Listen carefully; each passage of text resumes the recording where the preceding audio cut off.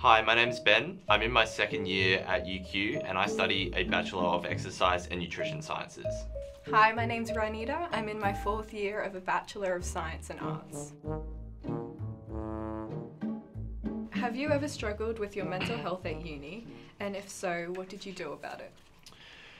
Um, I, I wouldn't say that I've had like too many mental health struggles, but something that I really value is my support networks at uni. So for me, that's kind of um, to do with my friendships. Um, I think cultivating those has been a really good way of um, sort of you know keeping a track of my mental health and always being able to stay on top of things. Um, also making myself available to a lot of different opportunities and um, you know different hobbies and different interests that I'm able to um, allocate my time to. It just gives me so many more things to do, um, and I feel like that's been really good for my mental health. Um, so yeah, how about yourself? Um, yeah, I definitely have struggled with my mental health through uni. Um, so the different things that I did was firstly, uh, you can contact student services, um, and it's really easy to arrange a counselling appointment. You can just do it online, um, or you can give them a call, and it's a really good kind of um, first first point of contact to just have a chat about your issues. It's really kind of it's really casual.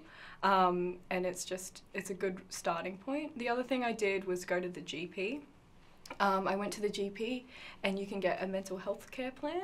Um, and that way you can get um, you can see like an outside psychologist Mm. um, or a counselor for like a subsidized price or you can even get some for free um, so doing those two things i think definitely helped me stay on track with things um, or get back on track and yeah also just talking to the friends i've made i think really helped um, knowing you're not alone i think really Mm. helped me um, to get better so yeah those are the main things that i do Would you would you say that people at uni are um, very open minded and you feel like you can approach your friends quite easily if you have something that you would like to talk about? Yeah, definitely. I think um, it's really good that there's a culture here that everyone's very open about mental health. Mm. Um, pretty much all of my friends that I talk to go see the counsellor at UQ um, or, yeah, seek mental health support. So because everyone's very open about it, I felt like I could share as well. And um, I didn't feel as many barriers to get help because I knew that so many other people were also getting help. So, Mm, yeah. mm.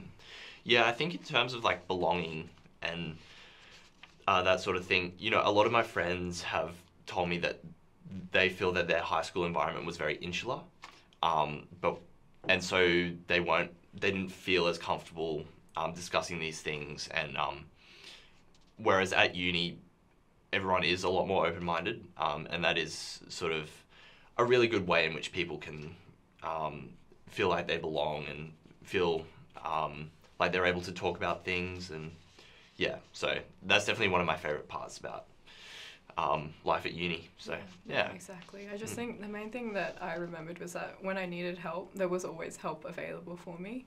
Um, so that was really nice. So yeah. Mm.